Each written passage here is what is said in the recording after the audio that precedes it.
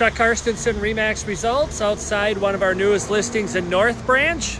We are on 2nd Avenue, 38884 2nd Avenue, so close to Highway 95, just a block, about a block up the road. Standing by my for sale sign. I just I just came out here and put my flyers in the box, which I know you guys want to see that.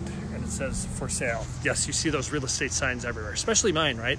So uh, typically we go on the side. I didn't really give the people a huge warning. I didn't tell them when I was come coming. I said I would stop by, do flyers and a video, and I said I wouldn't go inside. I'm not even sure if somebody somebody's home. But what we'll do in this one, in a moment when you're done watching this video, um, obviously if you have questions, you can comment, tag somebody, or ask us questions or message us.